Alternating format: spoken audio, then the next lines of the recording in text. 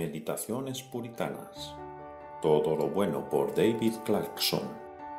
Juan 16:23. En aquel día no me preguntaréis nada. De cierto, de cierto os digo que todo cuanto pidiereis al Padre en mi nombre, os lo dará. El amor de Cristo nos carga cada día de beneficios. Él no nos da nada que no sea bueno bendice nuestras maldiciones, tentaciones, aflicciones, pecado y muerte, y acaban siendo buenas para nosotros. Incluso todos sus caminos prueban ser buenos para nosotros, no solo los caminos de Dios que nos ama en Cristo, sino todos los caminos de aquellos que nos odian, ya sean incrédulos o diablos. Ver Romanos 8:28. Este es un gran privilegio de aquellos a quien Cristo ama. Nada recaerá sobre ellos que no pruebe ser bueno al final. Ellos pueden concluir que, en cualquier condición que estén, esta será la mejor para ellos y si no hubiera sido así, nunca habrían sido llevados a ella. Cuando deje de ser la mejor, serán quitados de esta situación.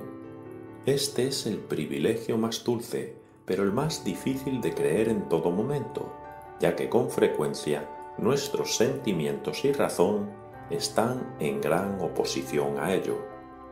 Sin embargo, es verdad, el amor de Cristo nos da todo lo que es bueno. Salmos 84:11 dice, no quitará el bien a los que andan en integridad. Y Salmos 34:10 afirma, los leoncillos necesitan y tienen hambre, pero los que buscan a Jehová no tendrán falta de ningún bien. Mira todo lo que está en el cielo y en la tierra, todas las cosas que hay en ellos, y cualquier cosa que sea buena, pídela con confianza a Cristo, porque su amor no te la negará. Si fuera bueno para ti que no existiese el pecado, el diablo, la aflicción o la destrucción, el amor de Cristo instantáneamente lo eliminaría si la posesión de todos los reinos del mundo fuera absolutamente buena para cualquier santo, el amor de Cristo instantáneamente le coronaría como monarca sobre ellos. El amor de Cristo te dará cualquier cosa que puedas desear, porque ¿qué persona razonable puede desear lo que no es bueno? Las promesas de Dios ya te han asegurado lo que es bueno traducido de un texto por David Clarkson.